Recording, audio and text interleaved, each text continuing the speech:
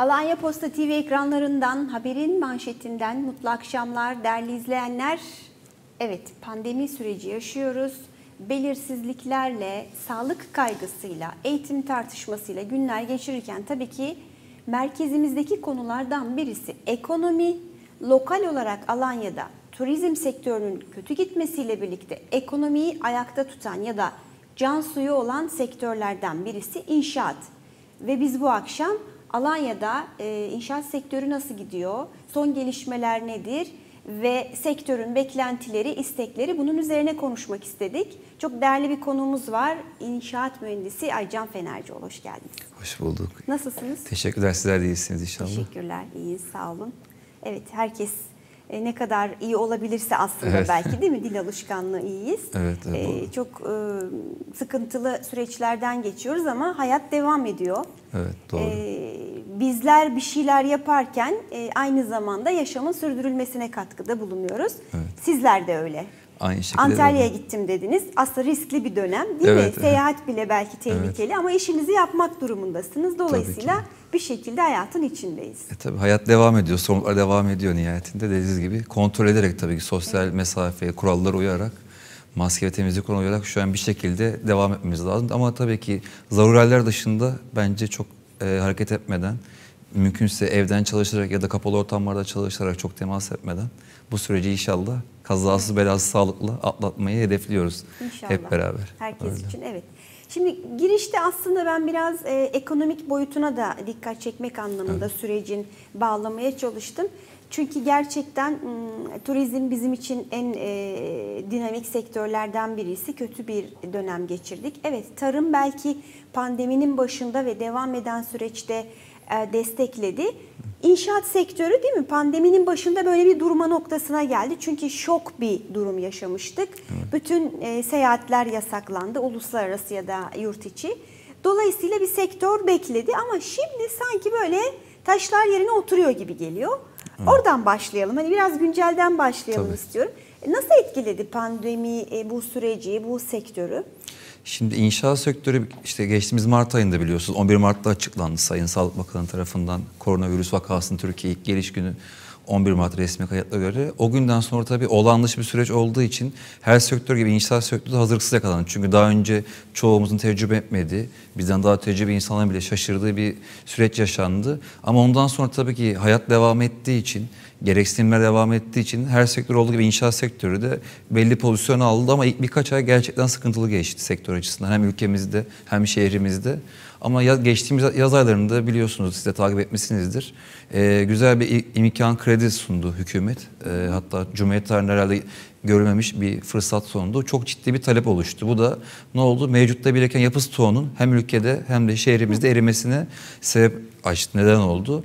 O yüzden bir hızlanma oldu tabii çünkü çok ciddi talep oluştu. Çok ihtiyacı olan bile ev alma durumuna yaptı. Çünkü çok ciddi fırsatlar sunuldu. Bu da e, bu süreçten sonra tabii ki e, mevcut eridiği için yeni yapının önünü aç- açmış oldu. E, tabii o faizlerin e, belli nokta inmesinden sonra tabii biraz şu an artmış durumda. E, biraz daha ileride düşer diye tahmin ediyorum.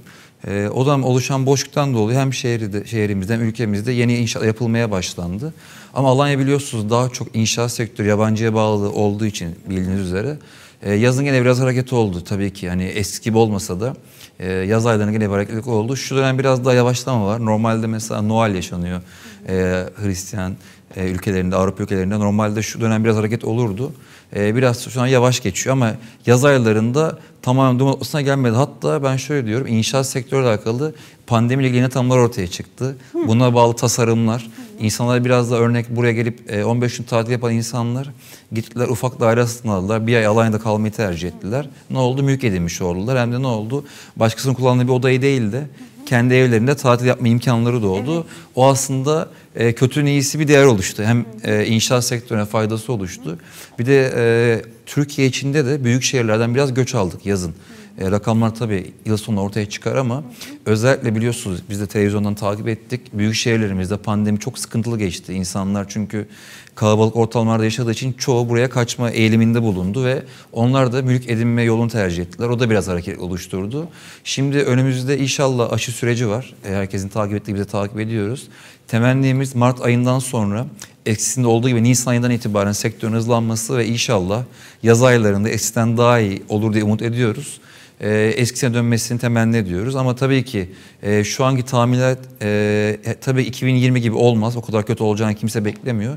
Belki 2010 kadar iyi olmasa da 2019 kadar 2020 yılında bence e, bir artıya geçeceğine ben umut ediyorum. Hem turizm sektörü hem inşaat sektörü. Çünkü Alanya'da biliyorsunuz turizm diğer sektörün hepsini etkiliyor. İnşaatı da etkiliyor, diğer sektörü de etkiliyor. Turizmin düzelmesiyle, normalleşmesiyle, yeni normalleşmesiyle demek daha doğru. Nisan ayından sonra inşallah ben e, bir sıkıntı olmadan e, hızlanacağını ümit ediyorum. Buna göre biz de çalışmalarımızı devam ediyoruz. İnşallah kazası belası o günleri görürsek sağlıkla e, bir inşallah devam eder diye umut ediyoruz. tabii. Evet. Ee, şöyle sorayım. Ee, mesela şu an e, Kasım, Aralık ayı diyelim. Yani yılın sonundayız artık. Evet. Ee, Nisan ayı gibi bir öngörünüz var. Hani geçmişle kıyasladığımızda genellikle böyle midir? Hani ben biraz sezon mantığını da anlamaya çalışıyorum. Ee, çünkü biz yabancıya e, yönelik satış yaptığımıza göre biraz onun da bir sezonu var muhtemelen. Evet. Hani zaten sezon kapanmıştı, paniğe gerek yok pozisyonda mıyız yoksa bir takım önlemler ya da bir takım e, kaygılar devam edebilir mi? Ya şimdi dediğim gibi Noel'den ötürü bir hareket olabilirdi ama şu an tabii biraz yavaş gidiyor. Dışı biliyorsunuz Avrupa ülkelerinin çoğu kapılarını kapattı. Seyahat yasakları var. İhtiyaç dışında çok seyahat edilmiyor.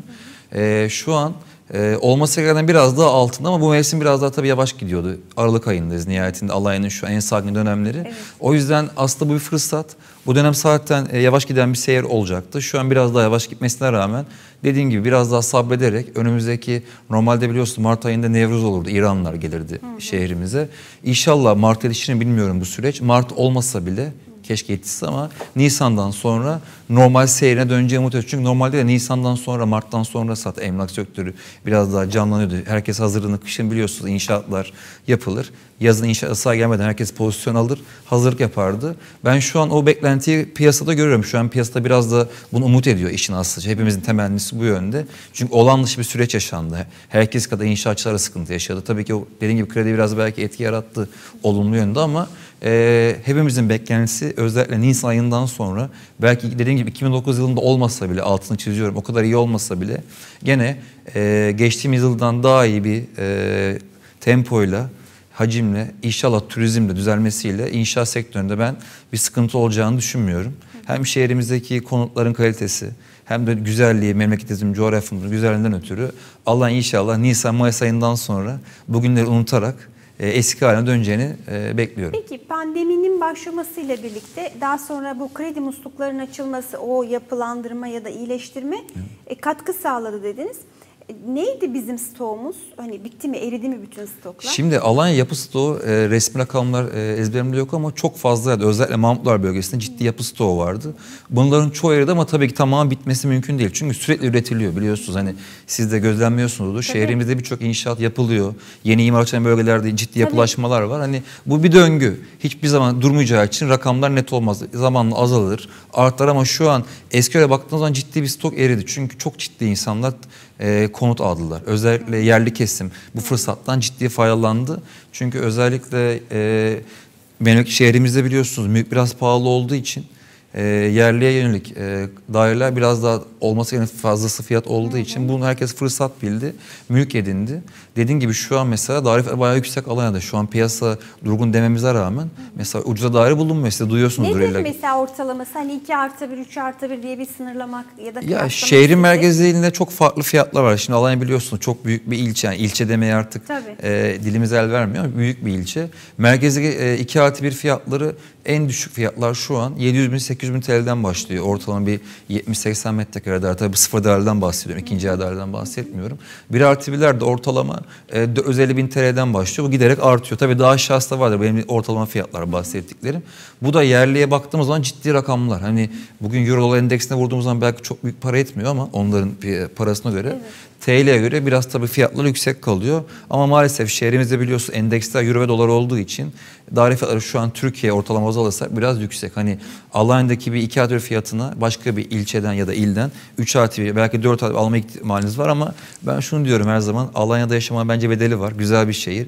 Biraz pahalı daireler. Ben de şimdi bir inşaat mühendisi gözüyle bunu biz de aslında doğruluyoruz. Biraz fiyatlar yüksek ama daha, e, üretilen inşaatlar da güzel, daireler de güzel, güzel ürünler ortaya çıkıyor. Dediğim gibi bu bir döngü. E, şu an ama fiyatlar hala yüksek. Yani öyle bir çok ucuza daire yok şehrimizde. Yani hala fiyatlar Evet, yani yüksek. aslında hani bizim kriz gibi gördüğümüz bir dönem var. Belki de hani eyvah insanların parası kalmadı dediğimiz bir zaman değil mi? Evet, evet. Hani böyle bir panik yaşandığı bir zaman ama bir taraftan da satışlar devam ediyor. Üstelik de verdiğiniz rakamlar hani herhangi bir rakam, sıradan bir rakam değil. Evet. Dolayısıyla e, ivmenin yüksek olduğunu gösteriyor Evet zaten. evet Alanya dediğim gibi e, bizim şehrimiz altın gibi değerli. Hani her dönemde talep görüyor. Tabii şu an belki çok diplerdeyiz bu pandemiden ötürü ama e, mal, e, yatırımcılar geleceğe doğru yatırım yaptığı için hala yatırım yapıyorlar şehrimize. Ben dediğim gibi bu geçiş dönemi, geçiş dönemi olduğu için 3-4 ay inşallah değeri biraz daha artar diye görüyorum. Evet. Şimdi biraz böyle hani Alanya'yı dolaşınca özellikle mesela benim e, ofisimin bulunduğu nokta Oba ya da Mahmutlar çok ciddi e, şantiye gibi aslında Evet. birçok nokta ve çok e, büyük siteler yapılıyor. Yani bin daireli siteler falan dendiği zaman insan mini bir şehir kuruluyor aslında. Doğru. Değil mi? Hani çok büyük değil bir mi? kasaba gibi yani. Değil Bir- mi? Evet, Hani ben biraz burada Evet. şey konuşmak istiyorum. Hani bunun bir planlaması yapılıyor mu acaba? Hani arz talep dengesini gözetebiliyor mu e, yatırımcı bu noktada? Yoksa hani e, bir işe girince belli bir maliyeti kotarmak adına belli bir rakamı da tutturmak gibi mi bakıyor? Hani bu sizin dilinizle nasıl tanımlanır bilmiyorum ama hani biraz fazla değil mi üretim? Ya şimdi şöyle tabii ki e, üretim her zaman biraz fazla. Bu hep var Alanya'da hep bu sorunlar ortaya çıkıyor ama e, yatırım yapan firmalarda dediğin gibi belli beklentiye, belli talebe göre bunları planlıyor. Mesela Oba'dan güzel bir örnek verdin. Oba mesela Alanya'nın şu an parlayan bir beldesi. Çok ciddi inşaat yapılaşması oluştu. Çünkü niye? Alanya yukarıdan baktığımız zaman biliyorsunuz en son Oba yapılaştı. Şehir merkezden buraya gelerek belki bundan 10 sene önce burada portakal ağaçları vardı. Şu an giderek yapılaşıyor ama o biraz daha şu an güzel yapılaşıyor. Biraz dediğim siteler oluşuyor burada. Özellikle o bölgesinde biliyorsunuz bölge hastanesi geldikten sonra işte diğer kurumlar da gelecek zamanla belediye inşaatı devam ediyor. Burada biraz daha şehri buraya doğru kaydı şu an. Hani Alanya'nın aslında çoğu yaşayan, merkezde yaşayan insanlar Oba'ya geldi. Bundan belki 10 sene önce Oba uzak yeriyken çoğumuza şu an Oba merkez gibi oldu. Yani çoğu insan Oba'da yaşayınca merkezde yaşıyorum diye telaffuz ediyor. Biz de duyuyoruz hatta şu an Oba'yı da geçtim çıplaklı da ciddi yapılaşma var. Görmüşsünüz Cikdilli mesela ciddi yapılaştı. Şehir biraz daha buraya doğru kayıyor. Bu tamamen dediğim gibi arz talep dengesi. Ama Oba'nın şöyle bir güzelliği var. Oba'dan konu açıldı diye söylüyorum. Oba yapılaşma emsali biraz daha düşük diğer beldelere göre. E, kat sayısı biraz daha düşük. O yüzden daha ferah, daha güzel siteler burada oluştu. İnsanların sosyal yaşantısını biraz daha rahat edebildiği güzel alanlar oluştu. Bir de tabii ki yani bur- buranın doğası güzel, biraz daha yüksekte kalıyor. O yüzden şey biraz da buraya kaydı. Merkezlik buraya kaydı denebilir. Belki bundan 10 sene sonra çok daha farklı şeyler konuşabiliriz Oba ile ilgili. Şehrin tamam merkezi göbeği haline gelmiş olabilir. Evet, şu an parlayan yıldız o zaman Obama. Hani ben biraz mahalleler düzeyinde Tabii ciddi obada şu istiyorum. an inşaat yatırım devam ediyor. Geçtiğimiz bir buçuk yılda çok ciddi inşaat yapıldı hala da yapılıyor. Siz de bunu gözlemlemişsinizdir. En şu an şu an e, en yüksek inşaat oranı metrekareye vurursak Oba ve Mahmutlar'dır Alanya'da. Yeni ruhsat olarak söylüyorum yani kentsel dönüşüm hariç yeni yapılarda Oba bayağı önde gidiyor. Evet aslında Mahmutlar'da bir doymuşluk yok mu? Hani baktığımızda e, değil mi dikey e, binaların ço- çoğunlukta oldu. Hani gözle gördüğümüzde doymuş gibi geliyor insana ama Evet. Devam eden de bir yapılanma var. Valla Mahmutlar gerçekten çok enteresan bir beldemiz. Biliyoruz yüksek kat var Mahmutlar'da. Oranın imar onu zamanında müsaade ettiği için. Ve hala yapılıyor ve şehrimizde en büyük konut proje hala Mahmutlar'da yapılıyor. Ee, Mahmutlar'da dediğim gibi çok ciddi bir e, değişik bir piyasa ciddi talep var. O kendini döndürdüğü için hala sürekli bugün Mahmutlara gidin. Her yerinde inşaatlar görebilirsiniz. Yer bitmiyor. Bitse bile kentsel dönüşüme sokulup yıkılıp yeniden binalar yapılıyor. Mahmutların kendi bir döngüsü oluştuğu için özellikle e, Rus vatandaşlar ya da Arap, İranlılar orayı tercih ettiği için ona göre yapılar oluşturuluyor. E, o da dediğim gibi Mahmutların kendi piyasasını her zaman döndürücüye yetiyor. Çünkü Mahmutlar şu an başlı başına ayrı bir nüfusa sahip. Şu an Türkiye'de çoğu ilçeden büyük nüfus var Tabii, Mahmutların aynen, baktığınız zaman. evet. Gidince siz de görmüşsünüz. Orası ayrı bir şehir. Belki çoğu Mahmutlar yaşayan insan Alanya merkezine inmeden e, bir ay orada kalıp hayatını geçirebiliyordu. Evet. Noter de açıldı biliyorsunuz Mahmutlara. Ve ben E, hani şöyle bir gözlemde bulundum. Hani Alanya Merkez Cadde akşam şu an bu mevsim için söylüyorum aşağı yukarı kapalı bütün dükkanlar. Evet. Ama Mahmutlar merkezde kapalı değil. Daha Değil. hareketli, daha Evet. ışıklı, daha aydınlık. Dediğiniz gibi yani kendi cazibesini yaratmış, Yaratmış. aslında. Ayrı bir belde orası. Evet. Belki ileride inşallah burası il olursa Alanya inşallah temennimiz. Orası ilçe olur muhtemelen ya da bir bağlı bir şey olur. Çünkü kendini döndüren çok değişik bir yapı var. Ciddi nüfus var Mahmutlar. Çünkü o kadar konut var. O kadar insan geliyor. Özellikle yazın ciddi bir potansiyel var Mahmutlar'da. Dediğim gibi orası ayrı bir artık gelişme noktası hala da devam ediyor. Yeni yerlerde ileride herhalde imara açılacak çalışmalar yapılıyor. Mahmutlar bence gelişimi devam eder durmaz. Peki bu süreçte daha çok hangi ülke için biz caziptik? Hani biraz önce Mahmutlar örneğini verdiniz, Ruslar, Araplar dediniz. Ama Alanya'nın geneli diye baktığımızda hani tercihimiz ne tarafa doğru kayıyor? Şimdi Ya Alanya biliyorsunuz. Kimler bizi tercih ediyor? Eskiden biliyorsunuz Almanlar Alanya'yı çok beğenirlermiş zamanında. Biz çocukken de hatırlarız, görürdük. O zamanla İskandinavlara dönüştü. Daha sonra Ruslara dönüştü. Şu an özellikle Arap ülkeleri, onun dışında Ürdün, Filistin, ne bileyim Pakistan şeklinde, İran. Buraya ciddi ins vatandaşlar gelmeye başladı. Bir de biliyorsunuz geçtiğimiz yıl bir vatandaşlık kanunu çıktı. Hani belli bir e, değerin üzerinde 250 dolar değerindeki mülk alanlar vatandaşlık elde etmeye başladı. O da belli ülkelerden buraya Türk vatandaşlığı almanın cazibesinden faydalanmak için göç başladı. O yüzden dediğim gibi biraz e, mozaik değişti. Eskiden daha çok biliyorsunuz Alanya'da Alman, İskandinav, Ruslar konuşulurdu. Şu an dünya nereden insan var. Hani artık bunu bölmek çok zor ama bölgesel olarak ayırabiliriz. Mesela dediğim gibi Ruslar, biraz e, Araplar vesaire Mahmutları tercih ediyor. Ne bileyim İskandinavlar şehir merkezi Oba tercih ediyor. Yani bunlar tabii istisnalar illaki vardır bu dediklerim genel olarak. Çünkü her e, şehrin, her ülkenin kendi keyfi, insanın kendi şeyleri var. Bir de bazen e, belli ülkeler belli ülkelerle komşuluk yapmak istemiyor. Tabii ki bu çok genel geçer bir kanun değil ama öyle bir algı var. E, yapan yatırım yapan müteahhitler de aslında biraz konsept ona göre belirliyor. Artık Rus pazarına mı yapayım? Ne bileyim İran pazarı mı? İskandinav pazarı mı diye artık girdiğiniz zaman bir inşaat onu anlayabiliyorsunuz. Çünkü hepsinin belli bir alıcısı var. Bir de onlar biliyorsunuz e, yabancılar özellikle onlarda memnuniyet çok memnuniyet çok önemli ve hızlı yayılıyor. Memnun kalırlarsa zaten onun kendi pazarı oluşuyor. Afsalarda biliyorsunuz ayrı bir pazar, ayrı bir dünya var orada da. Dediğim gibi her beldenin her yapın ayrı bir müşterisi var ama dediğim gibi dünya nereden insan var şu an artık bunu 3-5 ülkeyle sınırlamamız mümkün değil. Alanya artık dünya nerede bilinen bir ilçe yani. Evet ki inşaat firmalarına baktığımız zaman hani hakikaten kendi prodüksiyonunu kurmuş, kendi pazarlama ekibi e, gibi hani böyle e, pazarını da yaratarak iş yapmaya tabii, başlamış pozisyondalar. Projeler, kataloglar, kitaplar, CD'ler değil mi? Yani böyle ciddi anlamda bir yatırım var yani. Onu küçümsememek lazım. Alanya'daki inşaat firmaları, belli firmalar tabii. Çoğu Türkiye'de birçok firmadan e, altyapısı sağlam ve büyüklükte. Niye bunu söylüyorum? Çünkü yaptıkları projeler ortada ciddi üretim ve sürekli yapıyorlar. Hani tabii ki Ankara, İstanbul'da çok büyük firmalar var ama Alanya'da hani bir ilçeye göre çok ciddi inşaat firmaları var. Hatta duyuyorsunuzdur, size duymuşsunuzdur. Şehir dışında inşaat yapan firmalarımız var. Gurur duyuyoruz bunlarla. Dediğim gibi çünkü artık inşaat Alanya'da ciddi bir sektör. Gelirine baktığınız zaman çok ciddi rakamlar dönüyor. Biliyorsunuz Türkiye ortalamasında da alan ilçe olsa bile tapudaki satışlar birçok ilden fazla. Doğru. E, biliyorsunuz zaten Antalya en çok e, tapu ilçesi Alanya. Böyle olduğu için artık Alanya inşaat sektöründe çok güçlü firmaların olduğu iyi bir doğru bir lokasyon. Şehir dışından çok firma geliyor Alanya bu arada. Şöyle bir kaygımız oluşabilir mi ya da var mı? Hani bugün evet henüz bakir alanlar var ve devam ediyor yapılaşma. Ama bir gün dolacak ve doyacak. Hani inşaatın bittiği, doyduğu bir an Alanya için söz konusu mu? Bence değil. Çünkü Alanya'da e, hep Alanya'da biz büyüyeceğini de konuşuyoruz. Öyle planlanıyor zaten. E, Alanya sürekli büyümeye açık ve büyüyecek bir ilçe. Bugün mesela baktığımız zaman doğu biraz daha bakir duruyor. İşte Demirtaş'a doğru Kargıcak şu an bayağı yapılaşmıştır görmüşsünüzdür. Kargıcak şu an dolmak üzere inşaatlar yapılıyor. İşte yarın Demirtaş olur.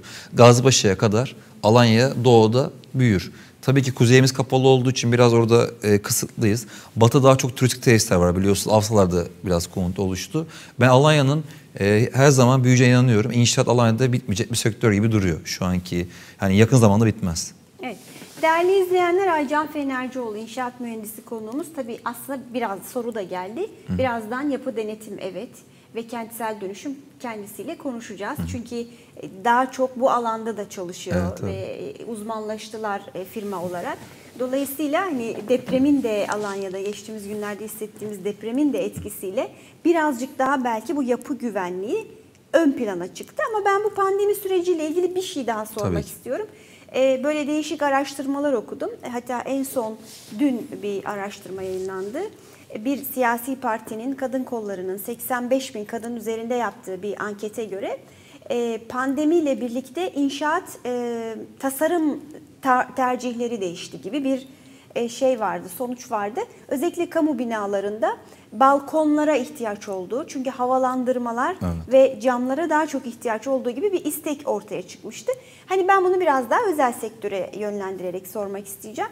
Çünkü mesela ben de son dönemlerde özellikle dikkatimi çekiyor. Özellikle dizilerde artık bu m, kış bahçeleri daha böyle e, yeşil alan ya da açık alanlar ön planda kullanılır ol- oldu. Evet. Bu da herhalde bir tercih diye düşünüyorum ya da öyle mi? Yanlış mı düşünüyorum? Çok doğru. Nedir hani bu tasarım tercihleri ya da bu pandemi bunu nasıl etkiledi? Şimdi tespiti gerçekten çok doğru. Alanya'da ve büyük şehirlerde öncelikle insanlar biraz daha müstakil bir yaşantıya kaçma yolunu tercih ettiler. Niye? Çünkü bu pandemide evlere kapandık. Dediğiniz gibi binalar artı üst üste. İnsanlar bunu aldığı için imkan olanlar biraz daha müstakil, daha rahat, yeşil yerleri tercih etmeye başladı. Özellikle büyük şehirdeki büyük artık siteler diyelim. Onlar çünkü 20-30 katlı minimum en düşük olan siteler. Orada da biraz daha ortak alanların özgür, insan daha özgür yaşayacağı, daha nefes alabileceği alanlar tercih edilmeye başlandı. Ee, Alanya'da biz şöyle mesela gelen talepler bize böyle özellikle yabancılarda küçük bir artı bir dairelerde biraz da temasın az olduğu, biraz daha teknolojinin kullanıldığı, örneğin mesela gözle açılan kapılar, asansörler vesaire hani temasın olmayacağı e, o tip e, tas, e, talepler gelmeye başladı. Bu tabii biraz maliyeti arttıracak ama artık hepimiz gördük ki hepimiz en kıymetli şeyi sağlığımız. Hani gördük yani Allah rahmet eylesin birçok insan hayatını kaybetti. E, tekrar onlara Allah'tan rahmet diliyoruz burada. O yüzden artık insan biraz daha biraz pahalı olsun ama işte dediğim gibi biraz kaliteli olsun. Alanı biraz geniş olsun. Sosyal alanı biraz fazla olsun. Dediğiniz gibi balkonu büyük olsun. Temas az olsun. Çünkü asansörde bile biliyorsunuz 10 kişinin aynı asansöre bindiği binalar var. Tabii. Hep bunlar bu pandemi aslında inşaatta yine bir ihtiyacı doğurdu. Çoğumuzun farkında olmadığı ya da farkında olsak bile önemsemediği maliyet noktasında yüksek bulduğumuz e, tasarımlar şu an biraz da ön plana gelecek diye düşünüyorum. Bence artık bu e, yaşantımıza uzun bir süre etki eder. Hani bu pandemi artık etkide psikolojikte bırakacak insanlarda. Bence kısa vadede bunun etkisini hiçbirimiz atamayacağız. Hem inşaat sektörü hem de sosyal hayatımızda bu bence etkileri devam ettirecek diye düşünüyorum. Evet o zaman pandemi biraz tasarım tarzını da değiştirecek Tabii kesinlikle bu artık daha fazla netleşir önümüzdeki günlerde, aylarda biraz daha mimarilere bu yansır diye ben tahmin ediyorum. Çünkü artık insanlar bu gerçekle yüzleşti. Bizim neslimiz, bizden daha büyük insanlar böyle bir şey yaşamadığı için belli yaşa kadar artık hani bunun artık şu var hepimizde seneye bunun olmayacağının garantisi yok. Daha kötüsü de olabilir. Belki Belki. belli bir süre böyle devam edileceği için e, o yüzden bence biraz bu yaşam şekline etki edecek her alanda. Peki e, bu pandemi e, tarzı, yaşam tarzı, tasarım tarzı e, gibi şeylerimizi değiştirdi ama maliyetlere yansıması ne oldu?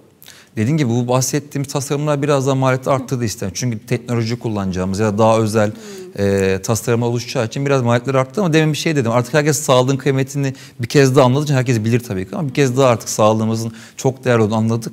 Biraz daha bu ön plana çıkar diye düşünüyorum. Maliyet notasında biraz maliyetler artar. Bu dediğim tasarımlar biraz daha inşaat metrekare maliyetine üzerine eklenir konur yani biraz o fiyatlar artar. Bu tip tasarım istenirse eğer. Evet yani sağlık şartları E tabii ki yani tercihleri değiştirdiği değiştirirse sürece, aynen. zevkler değiştiği sürece tabii. maliyet artacak. Evet. Peki şimdi e, bugün itibariyle hani belki an itibariyle söylememiz zor ama e, 2021 biraz daha farklı gelecek. O beklenti içerisindesiniz. E, bu noktada hani şehir tanıtımı yeterli yapıldı mı? Ben şöyle düşünüyorum. Yani inşaat firmaları e, şehir fuarlara gidemedi mesela. Hiçbir fuara gitmedi Alanya. Dolayısıyla yurt dışında bu anlamda bir etkileşim olmadı. Ama interaktif olarak bir takım çalışmalarla da aslında kendini anlatmaya çalıştı. Burada inşaat firmalarına da ciddi bir rol düştü. Tabii, tabii. E, hazırladıkları videolar, görseller, ne bileyim misafir getirdikleri insanlar, bloggerlar ya da m, fenomenler gibi bir takım çalışmalar da yapıldı. Aslında bu inşaat sektörünün içinde de ciddi bir yer edindi öyle düşünüyorum ben. Evet. E, nasıl oldu? Yani tanıtıma etkisi, katkısı ya da bu süreçte yeterince anlatılabildi mi Alanya'nın şehir konforu? Şimdi pandemi bize birçok şeyde olduğu gibi bu tanıtımda da e, bize alternatifler sundu. Yani daha doğrusu yaratma ihtiyacı sundu.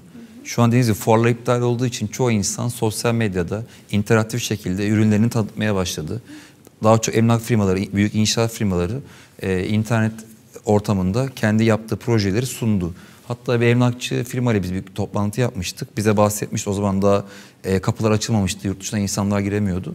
E, Birçok insan internetten alım yaptı. Gelip görmeden rezervasyon yaptı ve gelip alacağını yani artık e, bu işin buraya kaydığını çoğu insan internet sitesine girip alacağı siteyi canlı gezdiğini orada sanal ortamda beğendiğini ve aldığını rezervasyon yaptığını bize söylemişti. Bu şunu dikkat etmek lazım. Orada internet ortamında, internet ortamında insana sunulan ürünün yerinde aynı olması lazım. Burada bir hayal kırıklığı oluşmaması için. O önemli. Bunun dışında reklam noktasına bakarsak şu an tabii ki fuarlar önemli ama bence fuarlar biraz daha eskiden geldiği için artık biliyorsunuz yaşantı hep internette. İnternet çağında yaşıyoruz. Ee, biraz daha firmalar zaten bunun hazırlığını yapıyordu. Alanya'da bu konuda birçok firma bu çalışmayı zaten yapıyordu. Şu an bu dönemde biraz daha hızlandırdık. Zaten herkes buraya gelecek insan da internetten Alanya araştırıyor, sosyal medyadan vesaire. Alanya'dan şu an sürekli dönüyor, siz de görüyorsunuzdur. Gittiğimiz e, yerlere biz de takip ediyoruz. Belli artık hangi firma ya da hangi artık e, şehir talebi hangi amacı nereye hedefliyorsa o şehirde, o ülkede şu an reklamları şu an dönüyor. İnternet ortamında olsun, sosyal medyada olsun. Bu biraz daha gelişir diye düşünüyorum. Çünkü artık insanlar biraz da uzaktan bazı şeyleri araştırıp edinebileceğini anladı. Farkına vardı. Mesela eskiden biliyorsunuz birçok şey yüz yüze yapılırken şu an artık çoğu şey internet ortamında e, belli programlarla yapılıyor. Demek ki bu olabiliyormuş. Biz de bunu anlamış olduk. Evet. Tabii ki ne kadar faydalı etkilerini bilmiyoruz ama en azından şu an bir şekilde süreç devam ediyor. Bence bu biraz hayatımızı etki eder. Hem reklam olarak hem şehrin reklamında da bence bundan sonra ciddi olarak bundan faydalanmak lazım diye düşünüyorum. Evet şimdi hani sanal ortamda aslında daire satın alıyor insanlar. Evet. Bir anlamda güvenle ilgili de bir durum değil mi? Tabii yani ki. ne kadar e, çünkü bir para veriyorsunuz ve henüz belki bir tapu almadınız. Evet. Benim burada şöyle bir merakım var. Geçmiş yıllarda Alanya bu anlamda özellikle yabancıya satılan mülklerde biraz sicili kötüydü. Maalesef, bir daireyi evet. üç kişiye satan insanlar ya da firmalar vardı. Firma demeyelim aslında firmaların hani profesyonellerin bunu yapacağını düşünmüyorum. Ama vardı. E, uzunca süre Alanya adliyelerinde böyle dosyalar dolaştı. Hani bunun burada nasıl güvenliği sağlayabiliyor e, alıcı ve satıcı? İşte tamamen dediğin bahsettiğim gibi orada büyük yük firmaya düşüyor. Niye? Çünkü de firma nihayetinde ne kadar kendi özel bir kuruluş olsa bile şehrimizi temsil ediyor. Burada oradaki bir insanın mağduriyet yaşaması bir de biliyorsun şu an bilgi çok hızlı yayılıyor. İnternet çağında olduğumuz için hemen sosyal medyadan ya da belli platformlardan bu hemen duyuluyor. İyi de duyuluyor, kötü de duyuluyor. O yüzden dediğin gibi kötü örnekler bence emsal teşkil etmez. Şehrimizde tabii ki kötü örnekler yaşanmış hala yaşanıyor maalesef ama çoğu firma artık bunun ciddiyetine varmış durumda. Biraz daha kurumsal ve profesyonel çalışıyorlar. İşte dediğim gibi internetten belli kapora almak kaydıyla adam insan yatırımcı gelip bakıyor. Eğer daire de gerçekten orada gördüğüyle yerindeki aynıysa ki çoğu böyle çıkıyor artık. Diğeri zaten dolandırıcıya gider. E, mülkünü alıyor. Belli şartlarla artık tapusunu ediniyor. Dediğim gibi bu çok önemli. Orada biz ne kadar insanları memnun edersek hem Alanya'ya dışarıdan e, yatırım biraz daha hızlı olur o şekilde. Çünkü insan diyecek ki bu yayılacak. İşte internetten gördüm. Sitesine baktım, girdim, aldım. Aynısı çıktı beğendim şeklinde. O da başka arkadaşlarına söyleyecek. Çünkü insanlar buraya zaten gelemez. Hani pandemi olsa da olması da gelemez. Çünkü herkes kendi memleketinde çalışıyor. Bu bence biraz daha üzerine düşülmesi bir konu, önemli bir konu. Burada firmalara büyük görev düşüyor. Dediğim gibi burada müşteri memnuniyeti çok önemli. Hani burada kimseyi kırmadan, yanlış yönlendirmeden, hakkaniyetiyle oradaki sunulan aynısını teslim ederek e, bu yolu devam ettirmek gerekiyor. Bence bu konuda uzman kişiler bunun zaten farkında. Çok da iyi gidiyor diyor. Duyuyoruz zaten firmalardan bunu. İyi dönüşler aldıklarını ben duydum. Bu tamamen dediğim gibi yabancıya mülk satmak aslında bir nevi bizim burada ihracat yapıyoruz. Ben öyle düşünüyorum. Çünkü yabancıların nihayetinde buradan bize bir kazanım elde ediyoruz. E, o yüzden çok e, turizm elçiliği yapıyoruz bir nevi. Ne kadar memnun kalırlarsa bence şehrimiz o kadar kapma diye bu geri dönüş yapar. Artarak gelir diye ben düşünüyorum. Dikkat Evet. etmemiz lazım. Peki yani bu e, işin bir başka güvenlik tarafı ama ben biraz şimdi yapı denetime geçelim Evet. istiyorum. Çünkü e, bina güvenliği, yaşam alanlarımızın güvenliği çok önemli. Genel olarak hani biraz üst ölçekten baktığımızda Alanya bu noktada nasıl? Ben onu çok merak ediyorum. Çünkü evet e, birebir de baktığınızda hani zemin bir yerde iyidir, bir yerde kötüdür falan ama e, hani böyle bir e, maliyetten çalan e, tarzda ya da e, malzemeden çalan tarzda anlayışlar yaşanıyor mu hala? Artık onlar yok denecek kadar az. Çünkü o devir bitti. Sıkı denetimler var. Hem devlet sıkı denetliyor. Hem işte belli yapı denetim firmaları sıkı denetliyor. Fenli mesuller aynı şekilde denetliyor. Artık hani o e, eskilerden duyduğumuz 90'lı zamanların müteahhitleri kalmadı. Onu açıkça Evet, ben söyleyebilirim. evet, ben söyleyebilirim, siz Aynen o kalmadı. Maalesef geçtiğimiz yıllarda hep bize televizyonlarda gördük işte Konya'da yaşandı zamanında biliyorsunuz. Evet. Göcek depreminde yaşandı. Artık o örnekler kalmadı. Özellikle 99 depreminden sonra Yapı Denetim Kanunu'nun sisteme yürürlüğe girmesiyle 2000 yıllarda Alanya'da biliyorsunuz 2000 yılların başında ciddi bir 2004 yılında ciddi bir turist talebi oldu. Ciddi konutlar satıldı. O yüzden e, 2000 yılından sonra yapılan yapıların hiçbirinde ben bir sıkıntı olduğunu zannetmiyorum. Zaten hiç kulağımıza öyle bir şey gelmedi. Daha öncesi olan yapılarda sıkıntı var demek anlamına gelmesin bu kesinlikle ama e, şu an yeni yönetmeliğe göre, yeni analize göre 99 öncesi yapılan yapılar maalesef o günün şartlarına göre yapıldığı için biraz daha riskli durumda gözüküyor.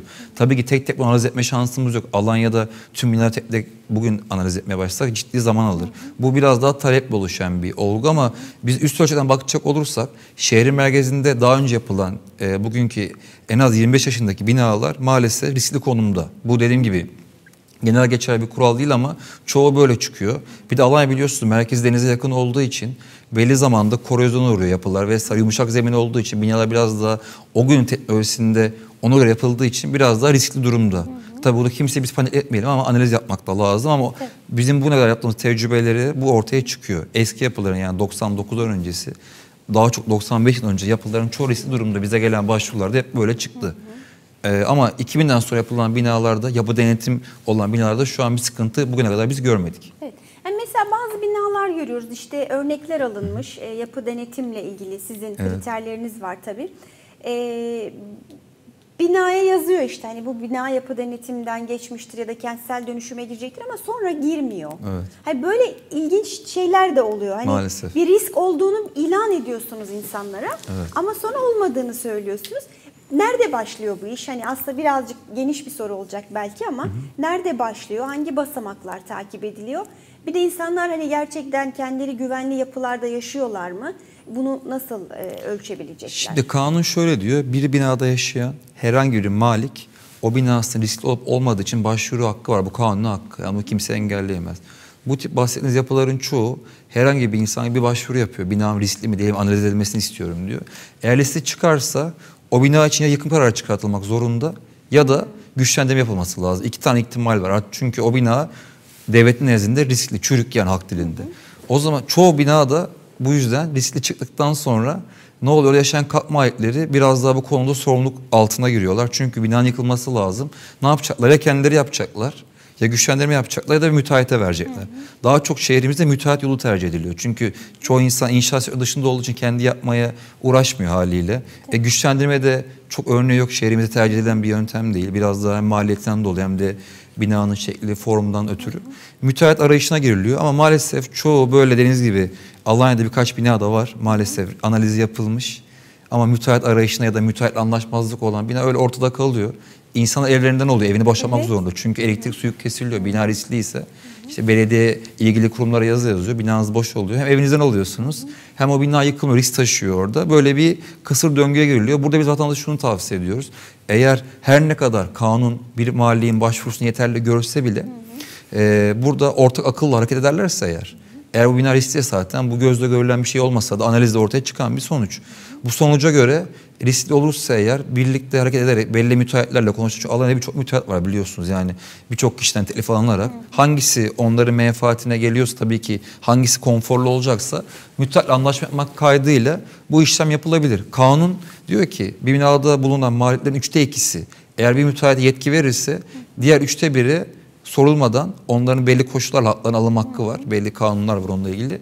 İşlem devam ediliyor. Bu ne kadar yasal olsa da bence vicdanı değil. Hı. Çünkü üçte ikinin için ne kadar yasal olsa bu engel yok ama diğer üçte bir belki istemediği bir e, sürece sürüklenmiş oluyor. Biz genelde e, kendi çalıştığımız konularda yerler diyoruz ki üçte üç yüzde üç sağlayın. Hı. Mutabakat olsun. Ne kadar kanunun izin verse bile hani herkesin dilediğine göre orta akılda bu iş devam etse hem süreç hızlı yürür hem de kimse bu işten mağduriyet yaşamaz. Herkesin gönlüyle bir sonuç ortaya çıkar diyoruz ama maalesef bazı art niyetli oluyor, olmuyor değil. Müteahhitler olabilir. Bu vatandaş da öyle. Kimseyi suçlamıyoruz tabii bunda. Bazen böyle çıkmazlar oluyor. Almanya'da birkaç yer var böyle yıkılmış başlamamış bundan ötürü anlaşmazlıklar evet. var. Burada bir şunu tavsiye ediyoruz. Dediğim gibi hani e, bu zaten süreç belli. Nereye gitsinler bunu öğrenebilirler. İşte belli müteahhitler artık kaç tane müteahhit teklif alınıyorsa alınır. Ben tavsiye ederim bir avukat nezdinde bunlar şartname oluşturularak bu süreç yönetilebilir. Kentsel dönüşüm başvuru noktasında da biz hep bunu bahsediyoruz yani bu lisanslı firmalara çalışmak gerekiyor. Alanya'da şu an iki tane var bununla alakalı. Güncel hani evet. en son öyleydi. Bu firmalara başvuru yaparak binamız riskli mi değil mi analiz ettirebiliriz. Hatta geçen ben bir yerde e, gördüm bir tane kıymetli meslektaşımız bahsetmiş. Hani hı hı. E, lisanslı firmalara başvuru yapmak zorunda değiller. Herkesle görüşe. Bu tamamen gerçek dışı hı hı. bir açıklama şey çünkü hani zaten Çevre Şehircilik Bakanlığı'na girdiğimiz zaman orada listede belli. Zaten bu gereksiz olsa bakanlık bu yetkiyi Neden der ki yapar vermez. Herkes Evet. bu işi yapabilir der. Hani e, bir mühendis bu işi yapar algısı var. O zaman biz herkese bu işi yapmaya davet ediyoruz. Bu kadar kolaysa bu iş herkes bu işi yapsın. Çünkü devlet aynı noter gibi belli ölçeklerden sonra kıstaslardan size bu yetkiyi veriyor. Tabii ki o yetki denetliyor. Hani lisans aldığınız zaman da kafa göre her şey yapamıyorsunuz. Denetimlerden geçiyorsunuz. Dediğim gibi bu ciddi bir iş. Çünkü baktığımız zaman bir tane bina eğer riski çıkarsa yıkıma yıkılmak zorunda olduğu için genel olarak yıkılıyor. Bu geri dönülmeyen bir yola giriliyor. O yüzden iyi yönetilmesi gereken bir süreç. Dediğim gibi birçok müteahhit var bunu yapabilecek olan Alanya kapasitesi olan biliyorsunuz şehrimizde birçok iyi müteahhit var. Dediğim gibi burada iyi bir müteahhitler bulunarak, anlaşarak süreç iyi yönetilirse bence kazasız belasız güzel bir şekilde hem maliğin gönlüne göre hem de müteahhitin e, kendi isteğine göre bir sonuç ortaya çıkar diye düşünüyorum. Genelde böyle yapılan çalışmalar hem hızlı gidiyor hem de hızlı bir şekilde insanlar evden yeniliyorlar. Geri devam ediyorlar. Hem de konforlu yeni binalar, depreme dayanıklı yapılarda çok iyi bir şekilde dönüşümü tamamlamış Peki oluyorlar. bu noktada siz e, bu şeye nasıl bakıyorsunuz? Hani bina düzeyinde mi? Hani ada bazında, parsel bazında tartışması var. Ama bunu tabii e, bütün e, alana yaymak için herkesin ikna edilmesi gerekiyor. Belki bir binadaki 10 kişi ikna etmek daha kolay ama bir mahalledeki 100 kişi ikna etmek daha zor. Hani burada biraz yerel yönetimin e, alması gereken rolü ben konuşmak istiyorum. Evet. Ya da bu konuda ne düşünüyorsunuz? Öyle sorayım. Şimdi gönül şunu istiyor. Keşke kentsel dönüşüm böyle çok büyük alanlarda yapılsa. Biliyorsunuz Alanya Cumhuriyet Mahallesi'nde böyle bir çalışma şu an devam ediyor. Evet, projelendirme e, Alanya Belediyesi evet. orada bir müdürlük kurdu. Kentsel dönüşüm üzerine Cumhuriyet Mahallesi'nde bir çalışma şu an devam ediyor. O zaten biliyorsunuz uzun bir büyük bir alan olduğu için biraz zaman alacak bir çalışma. Daha nihai sonuca ulaşmadı ama biraz da pandemiden dolayı biraz tabii ki şu an görüşmeler herhalde ona göre yavaşladı doğal olarak pandemi kaynaklı. Ee, orada o alanda büyük bir çalışma şu an yapılıyor. Keşke böyle büyük alanlarda kentsel dönüş yapılabilse. Büyük alanda yapılan kentsel dönüşümler Çevre Şehircilik Bakanlığı'nın kendi ilanıyla reisten yapılan çalışmalar. Orada bakanlık belli bir alan riskli alan ilan ediyor. O bölgede işte ilgili belediyesi çalışma yapıyor. Alanya'da bunun bir tane örneği var şu an devam ediyor. Mesela Antalya'da ya da İzmir'de, İstanbul'da bitmiş örneklerde yapılan örnekler var. Ee, daha çok ama şehrimizde parsel bazında çalışma yapılıyor. Keşke ada bazında çalışma olsa ama bir adadaki herkesi ikna etmek bayağı zor. Çünkü birçok bina var, birçok malik var. Hatta Sayın Bakanımız geçen başta ada bazında olursa biraz daha hani imarda artış verilecek noktada bir çalışma var şu an yapılıyor daha netleşmiyor ama muhtemelen çıkar o da. Hani ada bazında bir insan ikna etmek çok zor. Çünkü birçok bina olduğu için Alanya'da adalar büyük.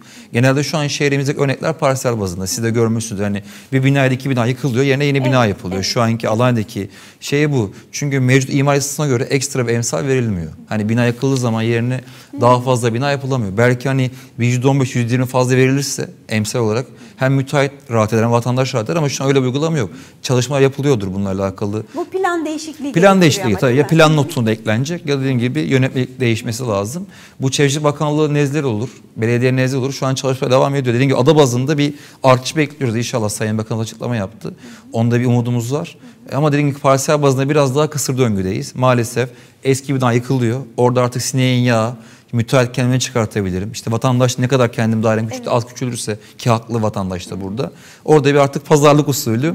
Örnek adam 100 metre dairesi varsa işte 70-80 neyse artık hesabına göre küçülerek yapılar şu an yapılıyor. Alanya'daki ve birçok Türkiye'nin birçok yerinde şu an uygulama böyle maalesef. Ekstra emsal artış olmadığı için. Ama bu detaylı bir çalışma gerektiriyor. İnşallah kısa zamanda ben dediğim gibi %15 %20 verilebilirse belki emsal artışı. Tabii amacına hizmet ederse bu tabii art niyetli kullanılması. Bence hem dönüşüm hızlanır hem de vatandaş rahat hem de müteahhit rahat eder. Güzel bir ortak akılla iş devam eder diye düşünüyoruz ama şu an uygulamada öyle bir şey yok. Şimdi Alanya Cumhuriyet Mahallesi'ne örnek gösterdiniz ama hani Alanya'nın daha eski yapılaşmasının yoğun olduğu farklı mahalleleri de var. Hani bu bu noktadaki düşünceniz nedir? İkinci etap Alanya nerede ne yapmalı? Alanya özellikle şehir merkezinde çok ciddi eski yapı stoğu bulunuyor. Zaten bu gözle de görülen bir şey. Çok teknik bir detay değil. Ben şehrin merkezinin e, bu konuda kentsel dönüşüme ihtiyacı olduğunu düşünüyorum. Şundan ötürü. Hem deniz yakın olmasından ötürü eski yapılar biraz daha deforme olmuş durumda. Hem de şehrimizin en güzel kıymetleri olduğu için şehrin e, açısı rengi değişsin. Hem oradaki sosyal alanlar değişsin. Güzel bir yeni yapı oluşmasından ötürü inşallah ben şehrin merkezinin kentsel dönüşüme ihtiyacı olduğunu düşünüyorum. Ama bu çok zor bir şey. Hani biz buradan diyoruz hani kolay bir şeymiş ki birçok insanı anlaştırmak gerekiyor bakanlıktan kanun çıkartmak gerekiyor. Dediğim gibi bakanlığı ilan etmesi gerekiyor. Ciddi bir süreç. Kısa vadede olacak bir iş ama hiçbir iş başlamadan bitmez nihayetinde. Bu da ileride bence biz ne kadar bunu ötesek, ertelesek bile Kaçışta yok vakti aslında. geldiği zaman hem yapılar ömrünü dolduracak hem de şehrimiz artık e, bir doygunluğa ulaşacak. Ondan ötürü yani bu er ya da geç olacak diye düşünüyorum. İnşallah tez zamanda olur ama tabii ki dediğim gibi yeni yapıların sosyal donatısının, oradaki kültürel alanların tabii ki çağımıza uygun, insanların biraz nefes alabileceği, demin pandemide güzel bahsettik. Hani daha böyle yeşil alanların bol olduğu, her şeyin ticari düşünülmediği, biraz da vatandaşın ferah, sosyal alanlarda yaşayabildiği parkların olduğu örneğin bir yapı oluşurursa hem şehir ferahlar hem dediğim gibi yaşam konforumuz artar diye düşün. Ama dediğim gibi bu çok zor bir iş yani. Burada biz anlatıyoruz ama dediğim çok teknik çalışmaya gerektiren, ciddi uzmanların analiz yapması gerektiren bir husus. Yani ben mesela yeni binaları e, otopark için destekliyorum. Evet. Gerçekten yani binadan çok otoparka ihtiyacımız var. Evet. Çünkü yollar araç işgalleri altında, park etmiş araç işgalleri altında. Zaten dar sokaklarımız var. Ama yeni binalar genellikle bu otopark kavramını artık uyguladığı için eee, daha eee, daha insani, daha şehire uygun, daha modern bir yaşam Tabii, en azından. doğru. Dolayısıyla en kötü ihtimalle bu trafik ve otopark keşmekeşinden kurtulmak için bile ben hani merkezde bunun uygulanmasından eminim ama dediğiniz gibi. Ama Cumhuriyet Mahallesi'nde de imkansız gibi görünüyordu ama belli bir yol Tabii, kat edildi. İşte Neden başladı. olmasın? Başlamadan bitmez. Başladı Neden inşallah güzel şekilde biter. Kimse mağdur olmadan. Herkes dediğin gibi mutlu o işten ayrılır. Ee, bir parantez açmak istiyorum. Otopark mevzuatı mesela önümüzdeki e, yıl başında yani 31 Aralık'ta değişiyor. Eğer ertelenmezse, ertelenmesi gündemde gene. Eğer ertelenmezse biraz da otopark şartları sıkılaşacak dediğiniz gibi. Hani biraz daha otopark alanları gerekirse bodruma inilerek e, yapılarda e, binanın altına girmek suretiyle ya da belli terklere araba park edilmesi suretiyle yönetmek değişir. Şu an değişecek gözüküyor ama belki ertelenebilir. Çünkü bu sürekli ertelenen bir yönetmelik. Şu an 31 Aralık'ta yönetmelik değişecek gibi gözüküyor. Evet o zaman e, 1 Ocak itibariyle belki bu, bu anlamda Sektör yeni çok istemiyor onu size söyleyeyim. Öyle? İnşaat sektörü evet çok Ha, istemiyor onu. tabii çünkü onlar da e, Evet. kat koymayı tercih ediyor değil mi? Evet. Yerin altına inmek de bir maliyet herhalde. E tabii ki inşaat maliyetleri artacak ama e, deniz gibi konforlu yaşam oluşacak.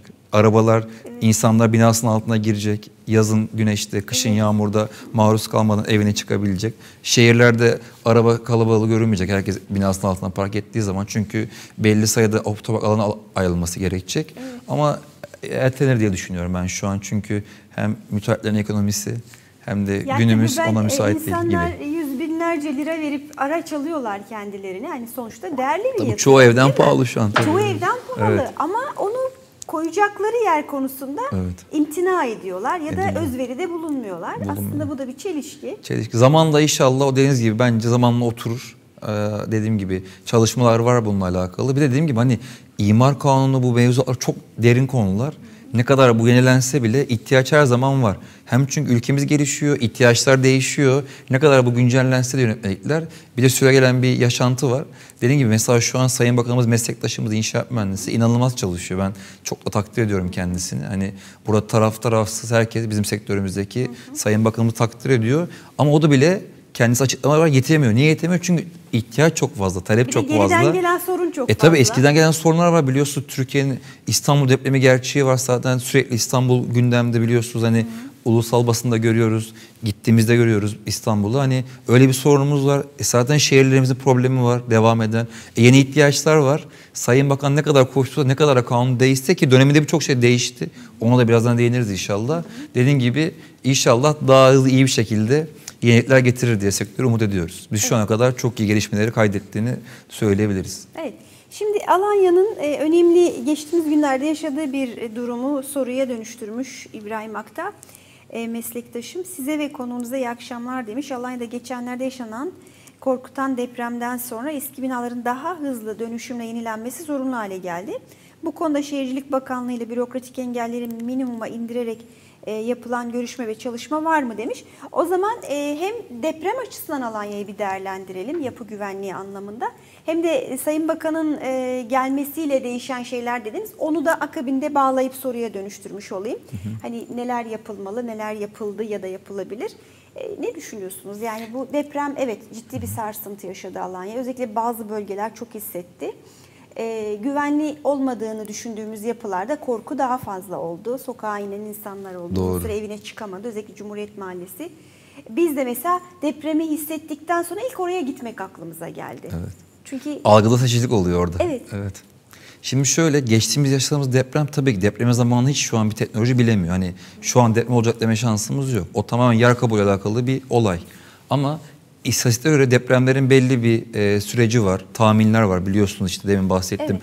İstanbul depremi. Özellikle mesela şu an Girit'te çok ciddi bir 8 şiddetli deprem beklenen örnek. Tabii olur inşallah olmaz ama bu tamamen beklenti. Geçen bizim Alanya'da yaşadığımız deprem aslında çok olağan dışı, beklentilerin dışında istatistik olarak e, çok bizim e, bildiğimiz deprem değil aslında. İzlemişsinizdir siz de. Yerin çok ciddi derinliklerinde olan yani bir depremin bize buraya yansıması. 5.3 şiddetinde işte o gün de sokağa çıkma yasağı vardı. Hepimiz evdeydik. Çok ciddi bu hissedildi. Sokağa çıkma yasağında olması şöyle aslında iyi oldu. Çoğu insan bunu hissetti. Tabii ki deprem iyi bir şey değil ama Tabii. bu gerçekle yüzleştik. Çünkü ama normalde kendi güvenliğini düşün Tabii günün o saatinde hepimiz normalde sosyal dışarıda olacağımız bir vakitti. Ee, tabii ki e, can ve mal kaybı olmadı çok şükür. Onunla hepimiz çok mutluyuz ama bu deprem gerçeğiyle yüzleştik. Ve hiç böyle e, tahminimizden çok daha farklı bir deprem. Ve Alanya yakın zamanda hani bizim büyüklerimiz daha iyi bilir. Ben öyle bir deprem şahit olmadım Alanya'da. Hepimiz bunu hissettik. En iyi yerde oturan da bunu hissetti. En güvenli yerde oturan da hissetti. En kötü yerde oturan da hissetti. Özellikle şehrin merkezinde, Cumhuriyet Mahallesi'nde, gibi Mahmutlar'da yani aklımıza gelen yer birçok yer insanlar kendini sokağa attı. Korkudan ötürü gayet de normal. Hatta o gün sokağa çıkma sallanınca bir de espri oldu. Sokağa mı çıkalım vesaire diye. Sayın Valimiz açıklama yapma çıkabilirsiniz diye o zaman da. Burada şuna bakmak lazım. Deprem maalesef yaşandığı zaman çok ciddi sonuçlar doğuran bir doğa olayı. Maalesef geri dönüşü olmayan bir olay. Ama hemen unutuyoruz. Öyle bir problemimiz var ülke olarak. Belki dünyanın birçok yerinde bu vardır ama bunu şöyle yapmak lazım. Deprem yaşadığımız zaman mesela Türkiye'de bir deprem gerçeği var. 196 saatten faydadan oluşan bir coğrafyada yaşıyoruz. Demin bahsettim e, Sayın Bakan mesela deprem yönetmeliğini değiştirdi geçtiğimiz yıllarda. Biraz daha binalar e, ona göre çözülmeye başladı projeleri. Biraz daha sağlam çözülmeye başladı. Tabii ki yenilikler geliyor ama dediğim gibi depremi engelleme şansı olmadığına göre ne yapacağız?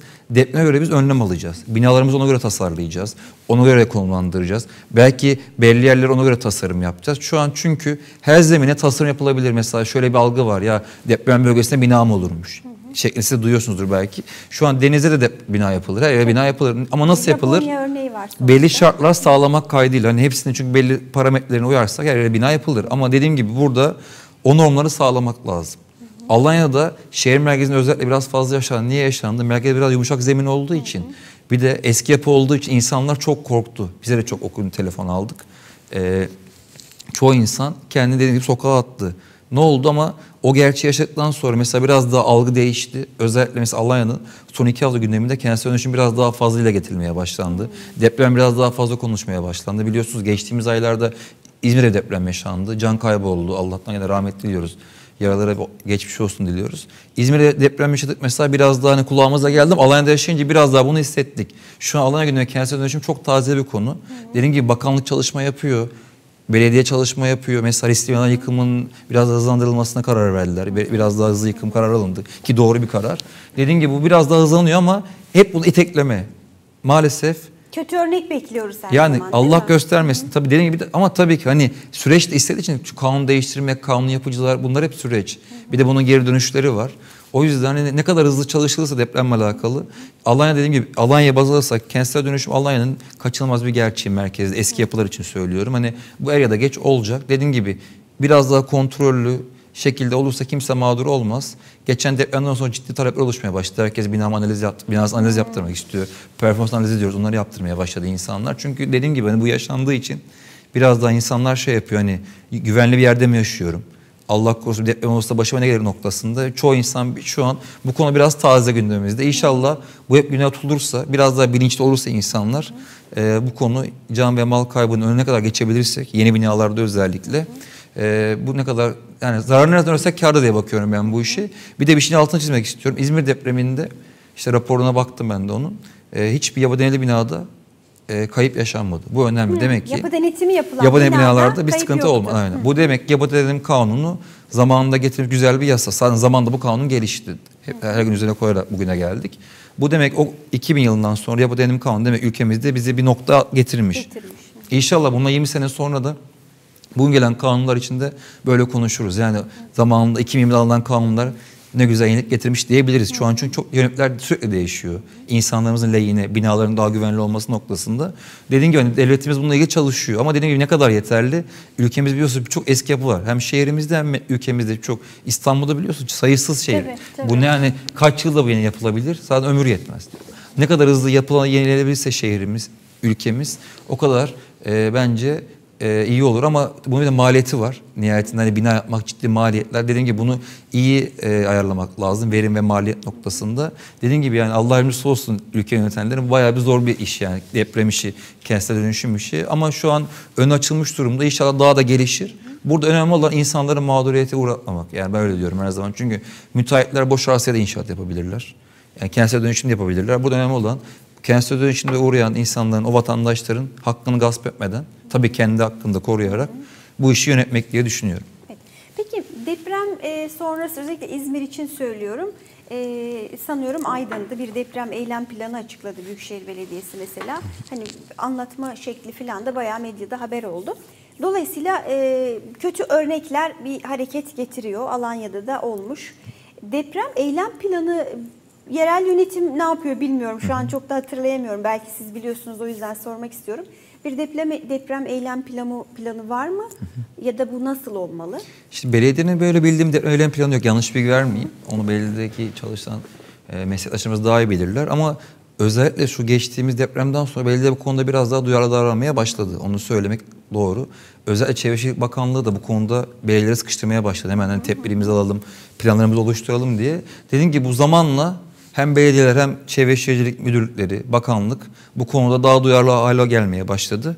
Dediğim gibi biz ne kadar plan program yapsak bile bence bunu uygulamaya geçirmek lazım. Hani ne kadar biz yazsakla çizsek de bir de bu işin uygulama kısmı var.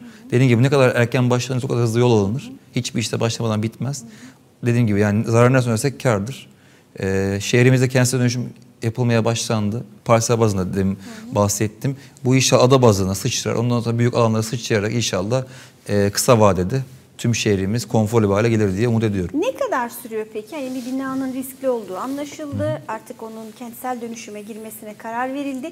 Oraya kadar ne kadar sürüyor? Oradan Şimdi bir ayda yaklaşık çıkar bir tane riskli olup olmadı kesinleşir itiraz olmazsa. Onsan Çevre Şehircilik Müdürlükleri e, onu onaylıyor. E, ondan sonra bir yıkım süreci insanların boşaltımına göre, yani boşaltmak da gerek. o O, da bir süreç göre tabii yani. ki. Yaklaşık yani ortalama 3-4 ayda eğer bir itiraz olmazsa, herkes de kabul ederse bu süreç başlamış oluyor. Binanın yapımı tamamen binanın büyüklüğüyle alakalı ama ortalama 18 ay olarak baz alınıyor. O da şundan ötürü e, devletimiz insanlara kentsel dönüşüme e, dairelerini veren, mülkleri veren insanlar 18 ay kira yardımında bulunuyor. O yüzden genelde biz 18 ay olarak hep konuşuruz ama şehrin merkezi yapıların çoğu 18 ay önce bitiyor. Çünkü öyle bir Çok yapı hızlı olmaz. gidiyor Hızlı gidiyor tabii. Yani? Evet. evet yapanın da lehine, o geri oturan da lehine ama devlet burada 18 ay bir kira desteğinde bulunuyor vatandaşa. Genelde 18 ay diyebiliriz biz bu süreci hani yapım sürecine. Yasal süre 18 Aynen. ay öncesinde bitebiliyor. Evet. İbrahim Bey devamında bir soru iletmiş. Ee, diyor ki e, yabancıları düşünerek bu harika şehirde onlara yönelik konut yapmak insanlarımızı biraz dışlamak değil mi? Tabii o biraz sözün başından almış. Alanya'daki tüm mimar mühendislerin ticaret odası hatta odalar işbirliğiyle esnaf ve vatandaşı vatandaşı evlere evleri bankalara e, borç bitene kadar ipotek ettirip kendi kredi almalarına aracılık yaparlar mı diyor. Hmm, yani öncülük ederler mi manasında. Kira öder gibi herkes konut sahibi olsa hem sektör canlanır hem de Alanya'da yaşayanlar kiracı olmaktan kurtulur diyor. Evet üretilmiş daireler bu noktada vatandaşa temin ettirilebilir gibi düşük kredili ya da düşük e, bütçeli e, satışı olamaz mı demiş. Geçtiğimiz ay yaz ayında oldu mesela. Evet, bu yaz olan oydu, değil mi? Aslında İbrahim Bey'in sorusuna cevaplı olur. Geçtiğimiz yaz ayında çok düşük faizli krediler insanlar ev sahibi oldu. Hani yabancı noktasında yanlış anlaşılma olmasın bu istatistik. Alanya'da çoğu mülk yabancıya satılıyor. Yerli tabii ki alıyor. Hani demin mesela bahsettim. Ankara'da insan çok insan burada e, mülk aldı. Yurt dışından insanlar almadı. Tabii ki olan alanlar var. Dediğim gibi Alanya çok geniş bir yer olduğu için çok fazla konutu var. Yabancı da alıyor, yerli de alıyor. Herkes kendi kesesine göre, ekonomisine göre daire tercih ediyor. Yani o tamamen tercihle alakalı. Evet tabii biraz da ticaretin Tabii. doğasının yani Evet. serbest ticaretin Tabii, doğasının aynen. getirdiği bir durum. Yapan yatırımcının da tercihiyle alakalı. Dediğim gibi ülkeden ülkeye bile talepler değişiyor yani. Doğru. Öyle. Yani yerleşik vatandaşlar belki en az 2 artı 1 hatta 3 artı 1 te- talep ediyorlar değil Tabii, mi? Bu ay, tabii, pandemide tabii. böyle bir değişim olduğu da söz ediliyor Aynen, çünkü. aynen. Ee, yerleşik yaşayanların daha geniş alanlarda yaşama çabası eğer e, bahçeli bir ev edinemiyorsa Tabii. mecburen e, daha böyle iç içe dip dibe değil de birazcık daha, Tabii, daha mesafeli, geniş sosyal alanlar mesafeli tabii, tabii, e, konutlarda yaşamayı tercih ettiği söyleniyor. Öyle kodlar da var Alanya'da yok değil. Yani dediğim gibi mesela belli müteahhitler mesela sadece yerli inşaat yapıyor. Onlar da var. Dediğim bu tamamen arayıp bulmakla alakalı. Arz talep meselesi. Yani çok yerli dönük güzel daireler de var Alanya'da yok değil. Tabii de ama hepsinin tabii bütçeye göre fiyatlar çok değişken. Metrekareye bağlı olduğu için, konuma bağlı olduğu için daha çok. Dediğim gibi yani o ama demin fiyatlar ortalamanın üstünde Alanya'da bir gerçek. Yani bunu kimse e, örtbas edemez o bir gerçek. Evet tabii zaten ilanlardan. Arsalar, benzer aletleri, arsalar değerli biliyorsunuz Alanya'da yeni arsalar Alan değerli. yok. Alan yok. O yüzden hani e, o bir gerçek Alanya'da mülk kıymetli. Evet. Peki bakanlığın çalışmaları hani bu noktada nereye geldi Türkiye? Biraz Alanya'dan Türkiye'ye bakalım. Evet. Oradan sonra tekrar Alanya'ya döneriz. Şimdi e, bakanlık demin bahsetti mesela geçtiğimiz yıllar deprem yönetmeliğini değiştirdi. O çok önemli bir atılımdı. Binalar biraz daha e, statik proje özellikle e, o yönetmeliğe göre çözüldü. Biraz daha güvenli hale geldi. Zaten güvenliydi. Yapı denetim kanunu değişti. iki yıl önce yani e, yılbaşında iki yıl olacak. Eskiden herkes kendi yapı denetimini seçebiliyordu. Şu an havuz sistemi dediğimiz noter gibi diyeyim size sıradan tamamen e, kimsenin belirlemediği bir yöntemle yapı denetimler artık şey geliyor. Yani hiçbir müteahhit kendi firmasını seçemiyor. Eskiden mesela Abbab Tavuşkisi vardı. Anlaşıyordu. Anlaşıyordu. İşveren mal sahibi işte yapı denetimde onun kontrolcüsü ama tabii ki bir Abbab Tavuşkisi oluyordu. Ki çoğu firma işini düzgün yapıyordu ama şu an biraz daha bağımsız hatta tamamen bağımsız hale geldi. Şu an yapı denetim firmaları sadece işine odaklanmış durumda. İş kendi geliyor. Müteahhit tanımıyorsunuz öyle mesela bizim firmalarımızda biz çoğu müteahhiti görmedik, hayatımızda görmedik. İş bize gelince tanıştık. O da biraz daha iyi oldu. Hem müteahhitin de lehine hem işi daha iyi denetleniyor. Bizlerin de lehine. Biz de daha özgür çalışıyoruz. Yapı denetim kanunu şu anki güncel hali bu. Onun dışında kentsel dönüşüm konusunda ciddi değişiklikler oldu. Eskiden mesela kentsel dönüşüm anlaşması yapılan yerler tek taraflı feshedilemiyordu kat karşı sözleşmeler. Şu an 6 aydan sonra eğer ispatlarsanız yapılmadığını, yani benim binam yıkıldı ama yapılmıyor, müteahhit buna başlamadı. İşte ilgili belediyesiyle, ilgili çevre il bunu ispatlarsanız tek taraflı fesih hakları geldi. Bu da ne demek? Hani en fazla 6 ay ne bileyim 12 ay ya da maksimum bir inşaat eğer olmuyorsa hemen başka müteahhit arayışına geçmeniz demek. Eskiden biliyorsunuz yıllarca mahkemeler sürüyordu. Mesela bu artık kentsel dönüşüm böyle bir imkan getirildi. Onun dışında müteahhitler sınıflandırılmaya sokuldu. Eskiden herkes müteahhitlik yapabiliyordu. Şu an duymuşsunuzdur. Herkes müteahhitlik yapamıyor. Belli normları, belli şartları sağlayan firmalar belli metrekarelerde inşaat yapıyor. Artık şu an eskiden iki kişi şirket kurup istediği kadar inşaat yapabiliyordu. Şu an o yasaklandı artık belli metrekareden başlayarak eğer sıfırdan başlıyorsanız yapa yapa belgenizi büyütüyorsunuz. Eğer eskiden yaptığı iş varsa o belgeleri topluyorsunuz. Çevre Şehirciliği Komisyonu sunuyorsunuz. O size bir sınıf veriyor. O sınıftan da inşaatınızı yapıyorsunuz. O da güzel sınıflandırma güzel oldu. Artık herkes her inşaatı yapamıyor. O da Bir anlamda referans oluşturuyor. Tabii tabii. Hani artık inşaat firmaları gerçekten eğer bir altyapısı varsa büyük işler yapabiliyor. Belli hacimlerde işler yapabiliyor. Onun da şu an yasal önü e, kapanmış oldu bence iyi bir gelişme. Eskiden çünkü biliyorsun herkes inşaatçılık yapıyordu. Evet. İyi yapanlar da vardı tabii ki ama kötü yönetmenler de vardı. Bu, bu dediğim bahsettiğim her şey hem sektörü biraz daha profesyonel hale getirdi. Biraz daha sıkı denetimleri oluşturduğu için insanlarda dediğim gibi biraz daha daha güvenli yapılar ve daha profesyonel insanların iş yapmasını sağladı. Evet. Şu an yani yeni şu anki şeyler aslında yasa ve yönetmelikler bunun için hazır. Hazır da uygulanıyor çoğu zaten şu an. Uygulanıyor Evet, da. evet. Başarıya da ulaşıyor Ulaştı, ki evet. e, söylediğinize göre. Bu noktada hani e, yapı denetim firmalarının havuz sistemine geçmesiyle ilgili bir eleştiri vardı. Siz ne düşünüyorsunuz? İşte Antalya'daki bir firma da Alanya'ya gelebiliyor.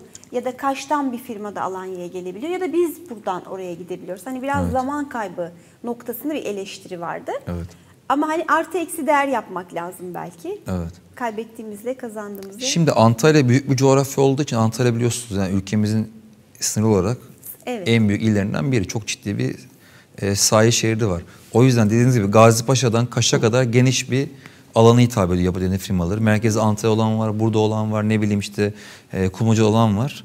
Geniş bir coğrafya. Bu tabii ki yapı denetim firmalarına büyük getirdi. Çünkü buradan Kaş'a denetleme gitmek zorundasınız ve sorumluluklar olduğu için bunu yapmak zorundasınız. E ama şuradan bakarsak da yapı denetim firmalarına artık iş kaygısı olmadan biraz daha işine kafasını verip daha böyle konusunda motive bir hale geldi. Nicelik Evet aslında şu an şikayet biraz daha müteahhitlerden var. Hani yabancı firma bundan çok şikayet değil benim bildiğim kadarıyla. Müteahhitler biraz şikayetçi. O da şundan dolayı şikayetçi. Eskiden Alanya'da iş yapan Alanya firmasının işini veriyordu. İşte Antalya gibi Antalya firmasının iş veriyordu. Herkes birbirini tanıyordu vesaire. Şu an dediğim gibi Alanya bir firmaya kumulcadan bir firma düşebiliyor. Tamamen şans. Ve maalesef tabii ki yapı denetim firmalarında da art niyet olanlar yok mu? Onlar da var. Bizim kulağımıza geliyor. İnsanlara maalesef zor zor dayatarak maalesef zorlayanlar oluyor. O yanlış. O sana devletin vermiş olduğu yetkiyi kötüye kullanmak. Bence o tamamen kanunsuz bir hareket. Hatta burada müteahhitlerin şikayet etmesi lazım. Tamamen ama düzgün yapan firmalar da var. Şu an çoğu da yapıyor zaten. Sistem güzel işliyor. Müteahhitler biraz alışma zorluk çekti. Belki müteahhit arkadaşlarımız, abilerimiz bize kızacak bize ama şu an bence bu uygulama aslında hem yapıların güvenliği hem firmaların özgürlüğü açısından do- gayet doğru bir uygulama. İnşallah daha da gelişir. Tabii kötü örnekler var. Onlara zamanla azalır diye düşünüyorum. Evet, yine Alanya'ya gelirsek e, sözün sonu e, vatandaş, yerel yönetim, firmalar hani sonuçta birbiriyle bağlantılı aslında. Hepsinin e, bir işbirliği, bir koordinasyonuna ihtiyaç var. Ve güvenli bir şehir isteği var yapı anlamında, yapılaşma anlamında. Kim ne yapmalı? Şimdi dediğim gibi bu işin bir vatandaş ayağı var, bir kurum ayağı bir de müteahhit ayağı var. Nihayetinde kurumlardan bu iş kontrolüne geçtiği için önce vatandaş ne istediğini bilmesi lazım. Demin bahsettik tabii ki herkes kendi hakkını koruyarak, mülkiyet hakkı zaten herkesin elinde alınamayacak bir kanun. Mülkiyet hakkını koruyarak mantık çerçevesinde müteahhiti de çünkü düşünmek lazım. Eğer bir işte müteahhit zaten kendi menfaat sağlamıyorsa bir iki koşun sonu gelmez. Çünkü akıl dışı. Doğru mu? Hani çünkü doğal kimse kar etmeyeceği için ticarete girmez. Nihayetinde müteahhit de bu işi belli gelirler için yapıyor. Burada dediğim gibi vatandaşın süreci yöneterek çünkü ilgili kurumlara danışarak Alanya Belediyesi olur bu, Çevreci İl Müdürlüğü olur dediğin gibi. Mümkünse avukat nezdinde bu işi süreci yönetirse hem binası yenilenir hem de kazasız belasız istediğini alır. Müteahhit de eğer o şartları sağlarsa o da istediği karı elde eder. Bu süreç güzelce işler. Ama dediğim gibi bu plan notlarında emsal verilmediği için müteahhitler bundan şikayetçi. Mal sahibi de e, benim dairem niye küçük ondan şikayetçi. Öyle bir maalesef şu an şikayet var. Peki son söz deyin. Aktarmak istediğiniz bir Ee, ben önce teşekkür ediyorum bize burada söz hakkı verdiğiniz için. Buradan herkese de selamlarımızı, saygılarımızı iletiyoruz. İnşallah dediğin gibi ülkemizde deprem bir gerçek. Maalesef hani ne kadar biz ne desek de boş. Çünkü demin de bahsettim. Bilemediğimiz bir, e, tahmin edemediğimiz bir süreç. Ne kadar istatistikler olsa depremle alakalı kimsenin tarihini, gününü bilemediği bir olay olduğu için ben deprem her an hayatımızda olacakmış gibi önlem almamız gerektiğini düşünüyorum. Hem bizim meslektaşlarımızın hem de vatandaşımızın dikkat etmesi gerektiğini düşünüyorum. İnşallah hani ülkemde hiç yaşanması temennimiz o ama inşallah olsa bile can ve mal kaybı olmadan en az hasarla e, bu süreçleri geçeriz ve ülkemiz inşallah bu deprem gündemini ilerleyen zamanlarda Japonya örneği hep veriyoruz. O hale gelir ve deprem hayatımızda hani konuştuğumuz bir gerçek olur ama dediğim gibi bize zarar vermeyen bir doğa olayı olarak devam eder diye umut ediyorum. İnşallah kısa zamanda ülkemiz bu hale gelir diye temenni ediyorum. Evet. Son söz dedim ama e, WhatsApp e, olarak da gelen bir soru var. Onu da aslında benim e, unuttuğum ama vatandaşın unutmadığı bir konu. Geçtiğimiz günlerde biliyorsunuz Mahmutlar'da bir e, kentsel dönüşüme girecek binanın yıkımı vardı. Evet. Aslında bu da önemli bir konu. Evet. E, çünkü bu binaların önce ortadan kalkması, e, değil mi? O Evet. molozun temizlenmesi sonra yeni projenin hayata geçmesi Evet. lazım. E, tabii bir takım hesaplarla yapılıyor herhalde. Evet. O konuda e, yeteri, kentsel dönüşüm firmaları ne kadar e, güvenli ki bina yıkılırken yıkıldı gibi bir soru geldi. Hani burada ne yapılmalı? Burada kimin nasıl bir Şöyle diyeyim var? size o firma e, bizim dediğim gibi dışarıdan biz de gördük. E, çok bize ilgisi olan bir konu değildi. E, yıkım da aslında yapım gibi ruhsata tabi. Hani yıkım kulağa hoş geliyor Ha, ama ruhsata yanan yıkılan ruhsat diye bir tabir var. İlgili belediyesine başvuruyorsunuz. Zaten o ruhsatı aldıktan sonra yıkabiliyorsunuz. Nasıl ruhsatamadan inşaata başlayamıyorsak Ha, ben canım istedi şu an Hayır yıkıyorum hayır diye öyle bir şey yok. İzin alarak yıkılıyor. Yani belediyeden eğer izin almazsanız zaten yaptığınız iş kaçak. Yıkım da kaçak. Yani nasıl yapım kaçaksa Evet. o çok belki bilmez. Yalan yakılan ruhsat diyoruz buna. Orada konuyu tabii bizim konuda olduğu için biz araştırmadık. Hani ruhsatı var mıdır yok mudur bilmiyorum. Ama yıkım kentsel dönüşüm firmasının sorumluluğunda değil. Yıkım da aslında ayrı müteahhitin üstlendiği kimse artık. Onun sonu ruhsatlısa müteahhit de yazar, şantiye şefi de yazar. Onun sonu yapılan bir işlem ama maalesef orada biraz imakarlık olmuş bizim gördüğümüz kadarıyla. Hadi eleştirmek belki de düşmez ama maalesef yanlış yöntem tercih edildiği için orada Allah korumuş can kaybı olmamış. Dediğin gibi bina öyle yıkılınca orada yapay bir deprem oluşmuş. Evet. Yandaki binalar da hatta bunda hasar görmüş.